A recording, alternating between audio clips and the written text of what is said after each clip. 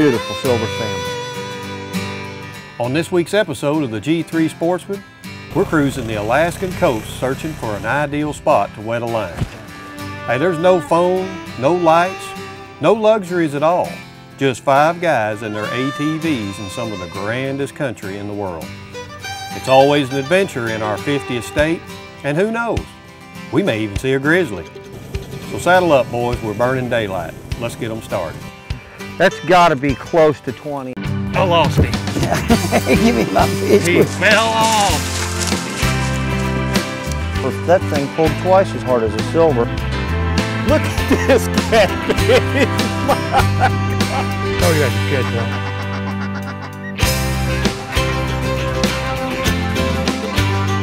Nice fish. Thank you, fish. That's what I'm talking about. Get you some of that.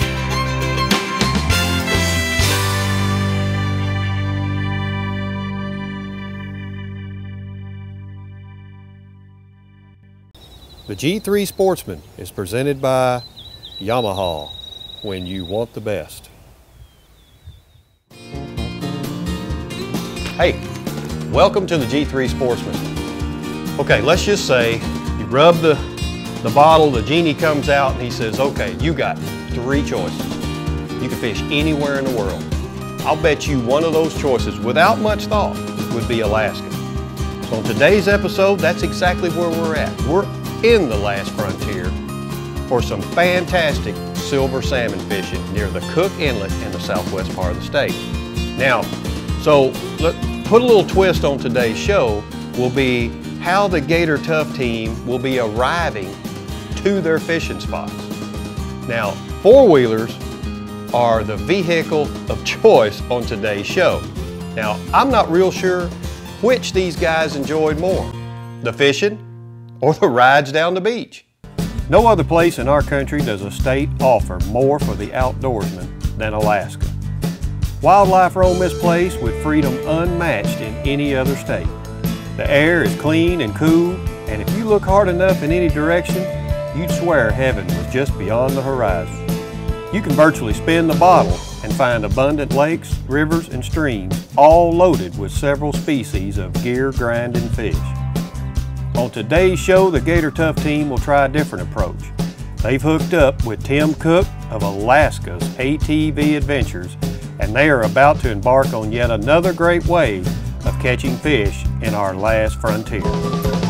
Well, we're getting in here just about high tide, and we should have a good run of silvers that have come in with the tide. And what they'll do is run up this river that we're going to. They'll come in off the ocean, they'll cruise up the river, and some of them will stay behind and uh, ripen up to lay their eggs. Then the rest of them will go back out into the ocean and go for another try. But uh, we're going to try to intercept some of the fresh ones.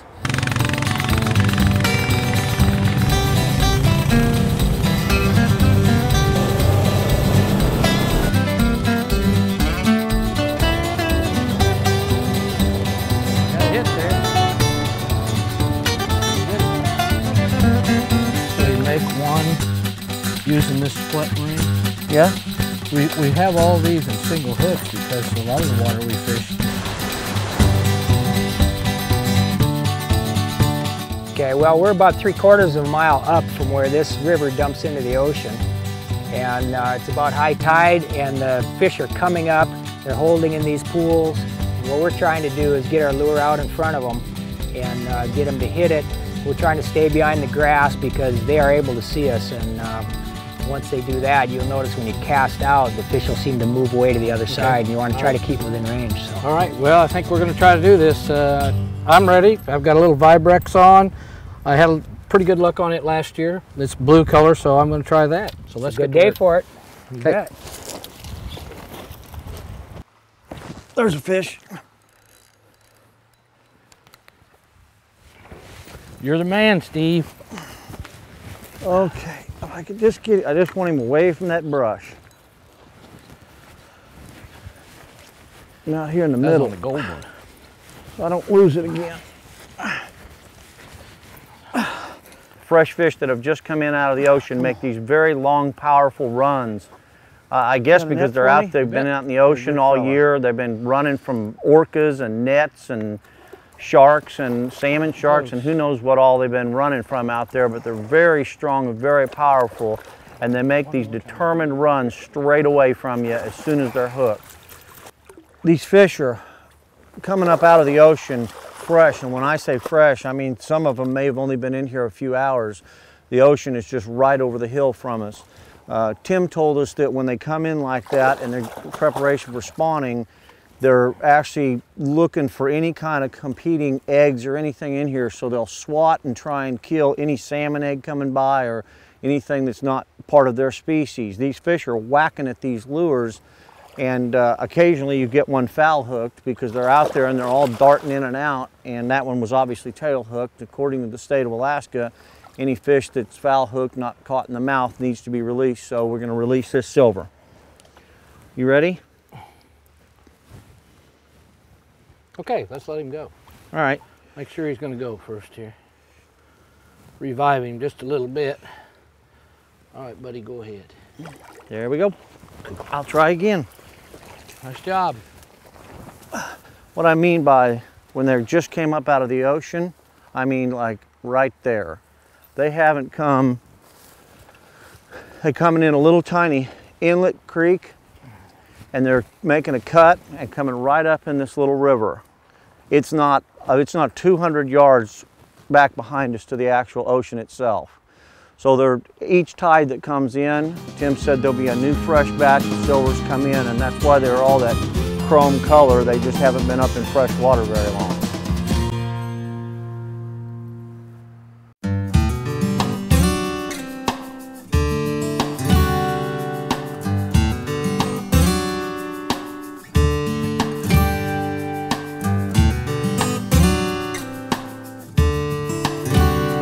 my brother Paul actually wrote an article, I believe it was in Field and Stream, about a group of guys who went to Alaska, got on four wheelers, and took off down Cook Inlet uh, to find silver salmon.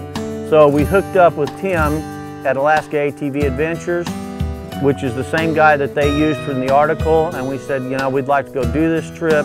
He said, you guys will have a great time. Not only was it fun catching fish, but the four-wheeler ride down that beach, which was all black gravel with beautiful mountains and volcanoes to our left, looking out across the ocean, and then green, beautiful pastured hills on our right. It was just amazing.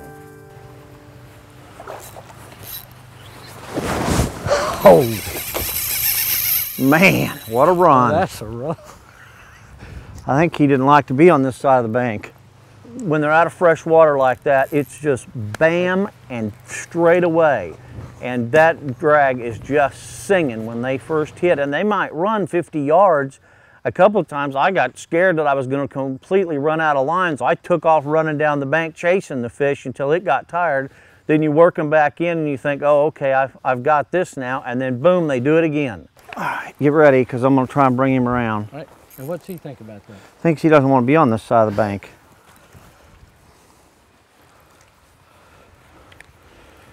But I'm getting him worn down.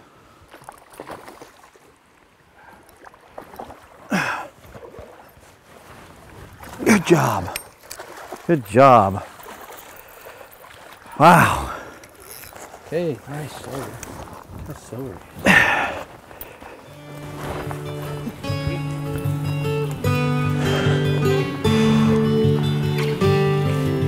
Nice. Fresh silver.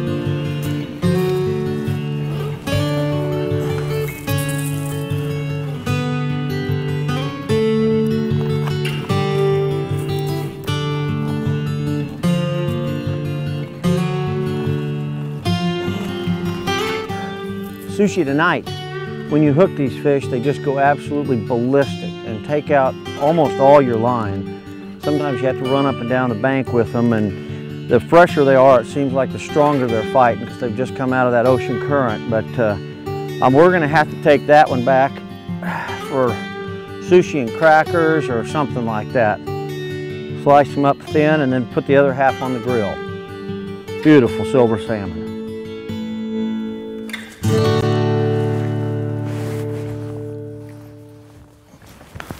I'm worn out. That fish kicked my tail. Try and see if I can find another one to go with the sushi and I can go down and show these boys how to do it. We've been up here a, a couple of times fishing for silvers in the past and we figured out that these just little orange Vibrax spinners number three and number four seem to work really good. Uh, I don't know whether it kind of emulates a salmon egg going through the water or what, but they seem to really like those with the gold blade. Sometimes they like the silver blade, but I like to throw the gold blade one and fishing it on a Pflueger spinning reel and uh, little two-piece rod. You can't really get the one-piece rods through the airport, so we always bring uh, two-piece rods or pack rods with us, and then you can just throw them together when you get here. I'm gonna see if I can get back over there on the other side of that bank and get another one of those big chromies. One, two. I'll just keep this. I've had hits. Where we were actually, where we're actually fishing is a, a river that comes into Cook Inlet, which is part of the Gulf of Alaska. And it looks like just any other little river in Alaska coming in, but the, the unique thing about it was, although we could see the fish laying out there, it was tall grass. And I guess because those fish are used to bears jumping in on them and all kinds of stuff, as you'd approach the bank, they'd kind of slide to the other side. Well, they will hit a lure quickly and aggressively, but the problem is that lure has got to pass about that far in front of their face.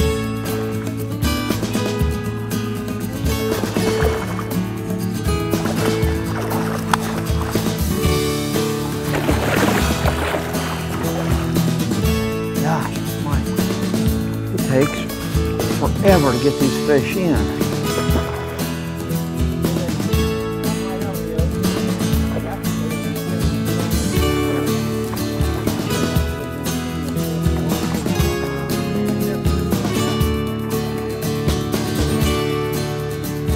Ready? I'm ready whenever you are. I did. He hit it hard.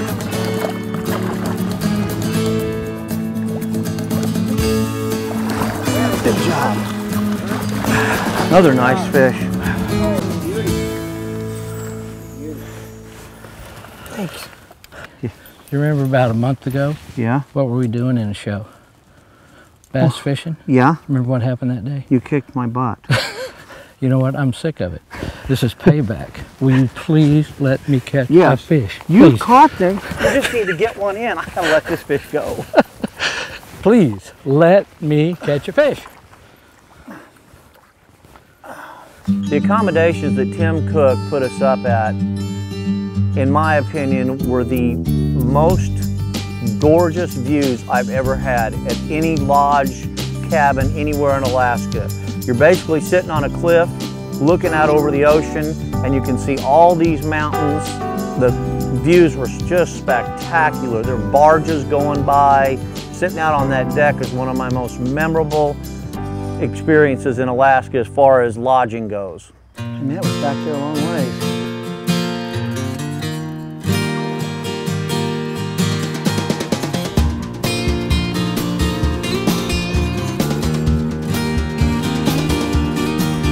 Oh. They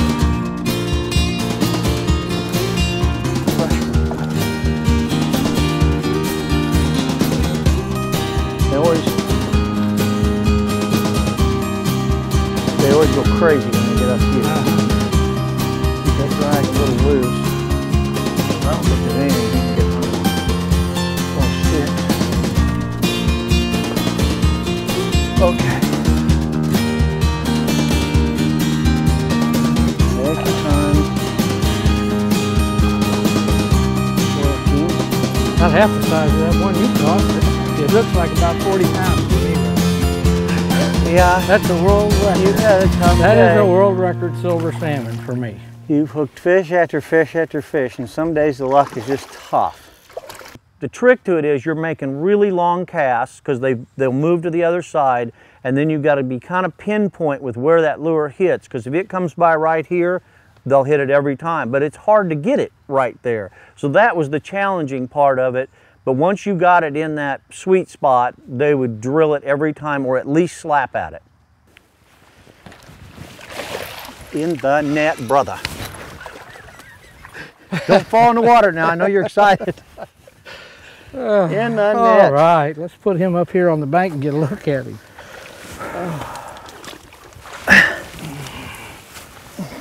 Now you can eat. You know, I'm not much of a salmon eater, but when you take one of those salmon, fillet them, put them on the grill, Good job. uh, put a few onions on the top. I'll try not to let him go back in the water. Get your pliers?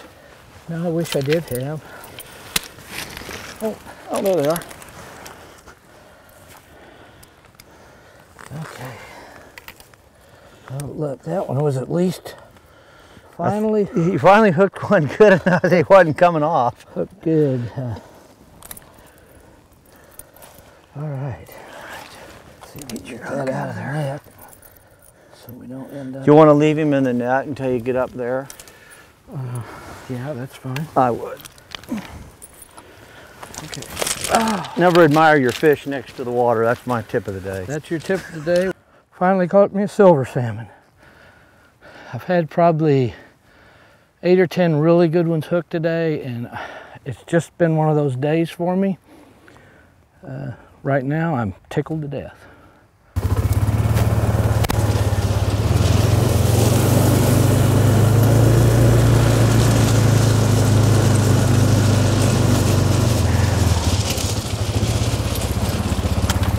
I brought you a cooler. I like it. This is what it's all about. Thought you could use a cooler.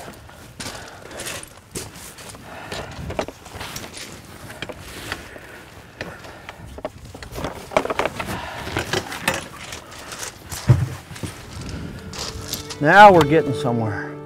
half as big. Half. I, I don't know what to tell you. half. You are the man when it comes to fishing. I don't know what to tell you. Yeah, 20 years ago I came up here on what I called at the time the five-year plan, and uh, it's evolved into something much more with the business and taking people out to enjoy Alaska's wilderness. And uh, I don't see any end to it. There's just so much to see and do up here. It's uh, just an awesome adventure every day.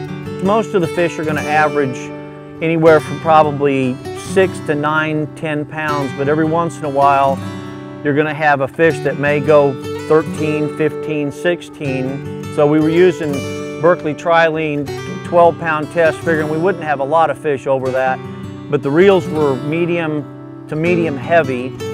You need a lot of line on there because when those fish make that run, that first initial run, you, you tend to worry if you're going to lose all your line.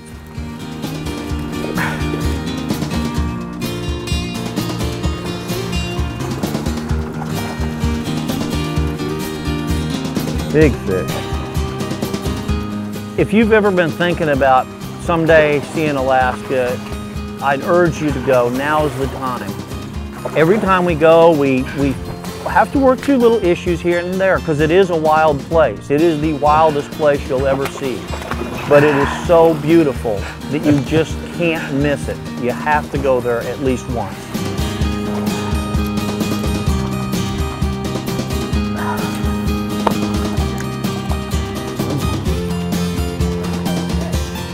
Pretty nice fish though, huh? Okay, it's been a great day on the Kenai Peninsula. We're in right on the edge of Cook Inlet. Uh, we've been with Tim Cook. Uh, it, we've fished for silvers. It's, we've struggled a little bit. We did end up with a beautiful limit. Tim, we'd like to thank you for everything you've done for us. Uh, great machines, beautiful scenery. Thank you very much. Thank you. You guys did a great buddy. job. Mountains were great. The ride was great. The fishing was fun, and we're looking forward to going back and staying in those beautiful cabins you have for us. Sounds good. Appreciate it. And maybe even a barbecue. If you'll cook We're us a liking slab of that. salmon, We're we'll liking eat it. that. We're liking that. Thank you.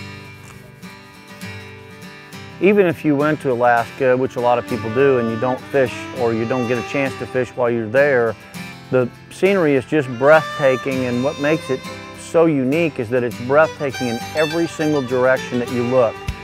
The scenery is so unique in Alaska because you've got tundra, you've got mountains, you've got marshes, rivers, crystal clear lakes, and Mount McKinley is just breathtaking when you get to see it for the first time. The other thing that's, that's so interesting about Alaska is the people.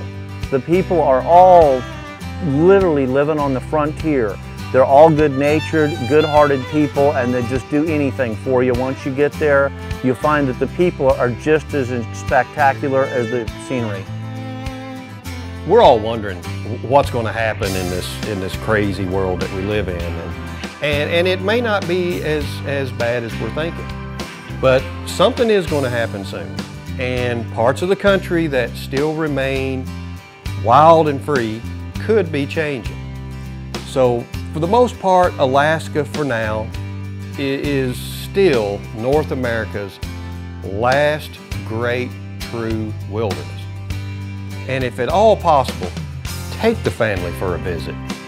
It's our last link to the past and, and truly our last frontier. Hey, thanks for watching. Hope you enjoyed the show and we'll see you somewhere next week right here on the G3 Sportsman.